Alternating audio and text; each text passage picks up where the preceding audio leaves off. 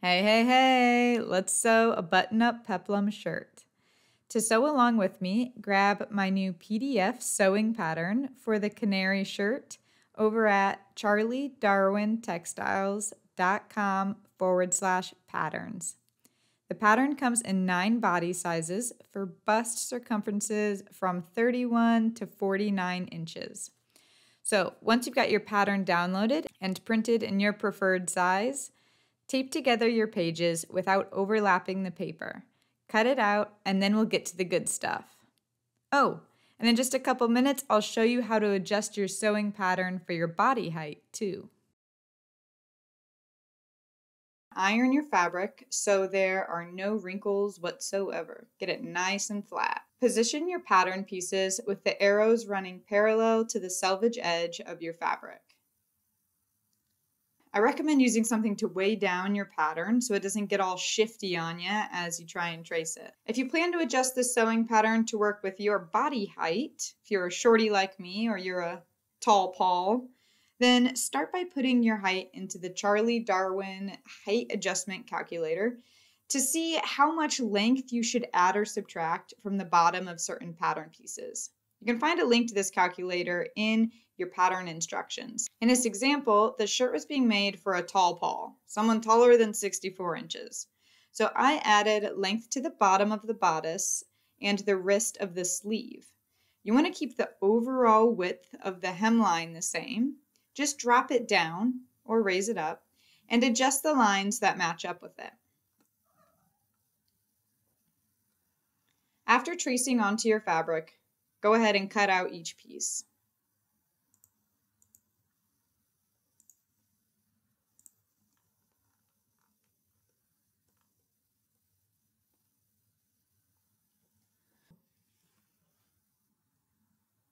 Oh baby, it's time to sew. Here we go. So our first step is going to be to stay stitch the necklines.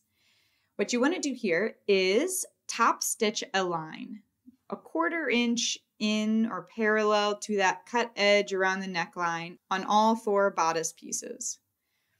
Back stitch at each end. This helps keep the neckline from stretching before we put the collar stand on. Next, we're going to sew the center back seam. With the wrong sides facing of the back bodice pieces, stitch the center back from the neckline down to the bottom hem. Now go ahead and press this seam open and for each side of the seam allowance here, you want to fold the edge underneath itself so the raw edge is tucked back in toward the seam. Now try and iron this bad boy as you go until you've folded and pressed the entire length on both sides. If you've got a more slippery fabric that doesn't stay just from your iron, you might want to pin this if you need to sort of keep it in place before sewing it. All right, now over to the sewing machine. You want to stitch down each long edge as close to that fold as you can reliably get. You don't want to fall off the fold, but get really close to the edge. Next, we're going to prepare the center front edge of the bodice.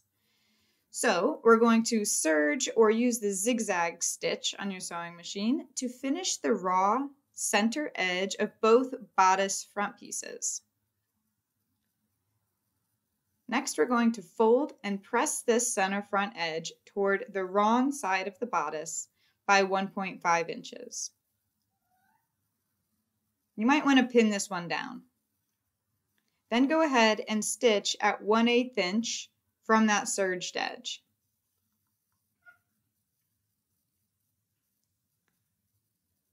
All right, onto the shoulders. Now we're going to lay our front bodice pieces with right sides facing toward our back bodice piece. Align those shoulder seams and pin. Then we want to stitch at a half inch seam allowance along those shoulder lines. Serge the edges or finish it off with a zigzag stitch.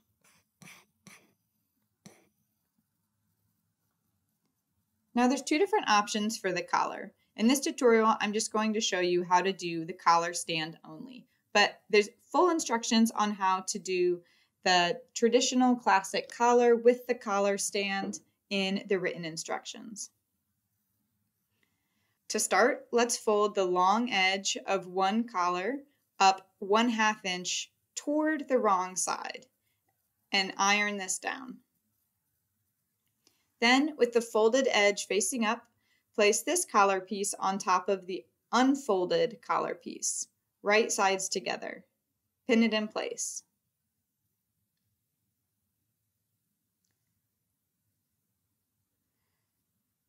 Starting at the bottom left corner, stitch around the collar, but leave that long bottom edge unstitched. To remove bulk, you want to cut the seam allowance down to about 1 8 inch where you just sewed. Then turn the collar right side out and press it with your iron.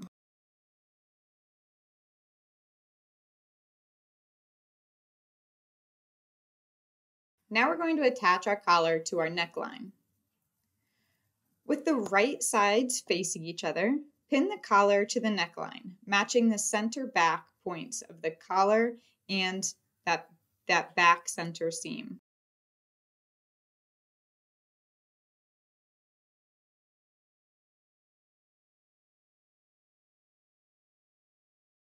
Stitch all the way around at 1 half inch.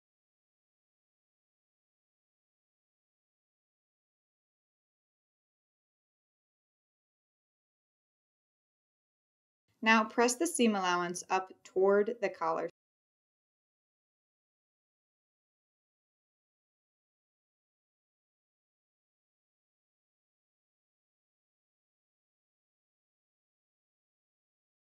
Now we're going to tuck this neckline in for the night.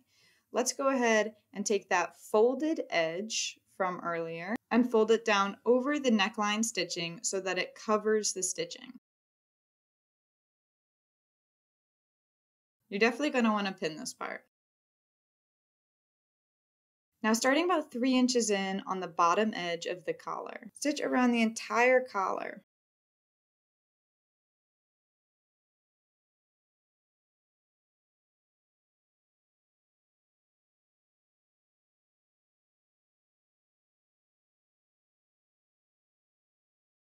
Next we'll attach the sleeves. I'm going to show the variation for view A, the long straight sleeves, but the instructions for the butterfly sleeves are in the written instructions. With the right sides facing each other, pin the sleeve to the shoulder round. Be sure to match up the center shoulder with the center of the sleeve. Stitch all the way around and finish with a serger or a zigzag stitch. Repeat on the second side. Now fold the wrist under one half inch toward the wrong side. We're going to come back to this later. Next, let's finish the underarms and the sides. With the right sides facing, align the underarms and the sides of the bodice. Pin them in place and stitch. Finish with a serger or a zigzag stitch. Repeat it on the second side. Now we're ready to officially hem the sleeves.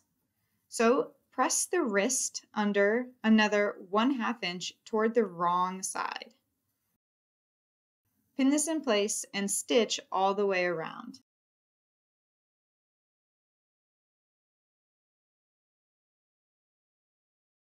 Now here's the instructions if you're going to attach the peplum ruffle as seen in view A of this pattern.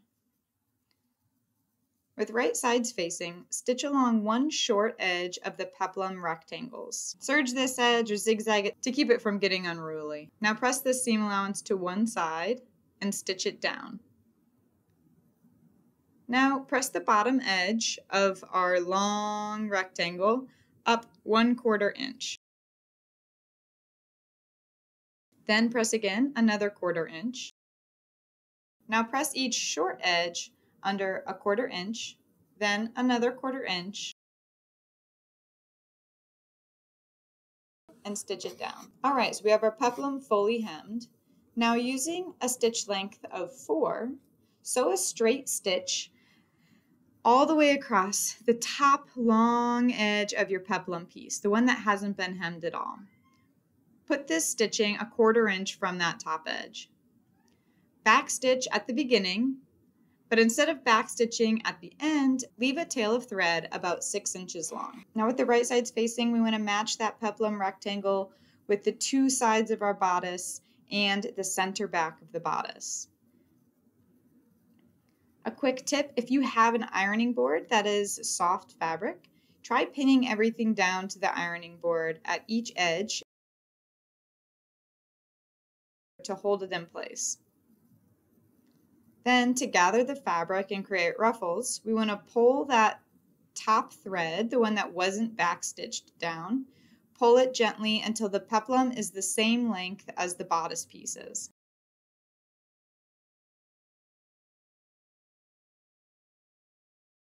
If you used the ironing board pinning method, stick an extra pin a few inches from the tail thread side, and once you have the thread pulled just the right amount, you can wind it around this side pin to hold it in place while you iron everything down.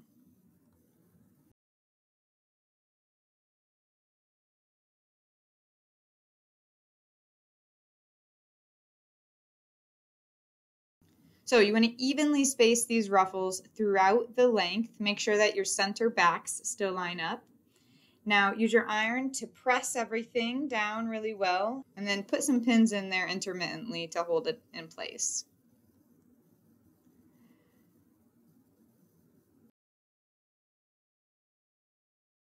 Now you want to return your sewing machine stitch length to whatever your regular is. I keep mine at 2.5. Top stitch the ruffles to the bodice with the ruffle side facing up. Now serge or use a zigzag stitch to finish the edge.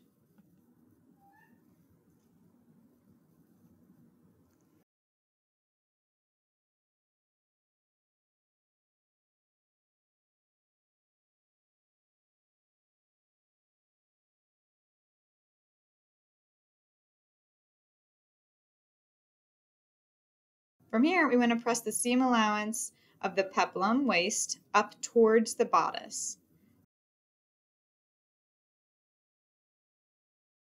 Then top stitch it down at 1 8 inch. If you're not doing the peplum waist and instead you're doing view B, then check out my guide for sewing the bottom hem in the written instructions. All right, we're almost there. So next we're going to add our buttonholes and buttons. To start, the bottom of the first button should begin one inch below the seam that's conjoining the bodice and the collar. Then from there, you can use the buttonhole markings on your paper pattern to mark the placement on the left front panel.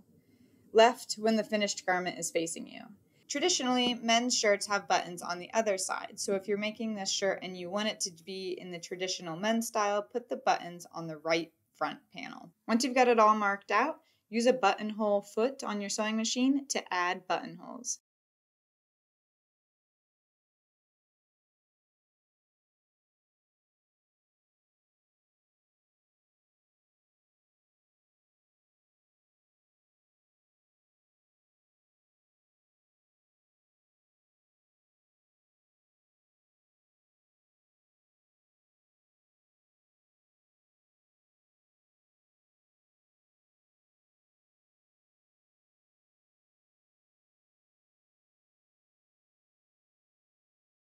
I like to open these buttonholes with a pair of sharp, small, sharp scissors.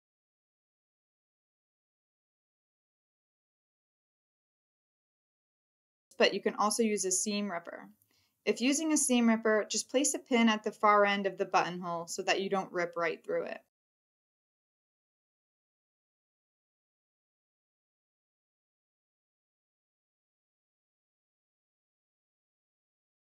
Now place the buttonhole side on top of the side that we want to add the buttons to. Mark where each button needs to go. Then put the buttons on their marks and tape them down to hold them in place.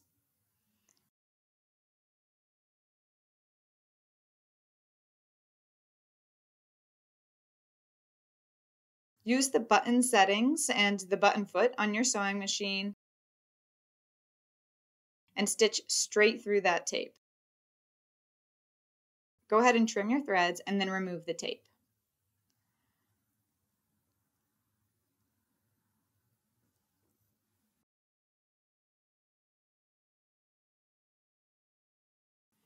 You did it! I'm so proud of you! You're a serious magician. I believe in you wholeheartedly. You just completed this shirt. It looks amazing. Try it on. Well, first of all, stretch your body so that you don't get a hunchback. Really get your muscles worked out. Oh, yeah. Now put the shirt on. Give yourself a huge hug while you wear it. It's amazing what you did. You made something for yourself, and you're a magician. That's all I gotta say. Keep up the good work. You're the best. All right. Bye.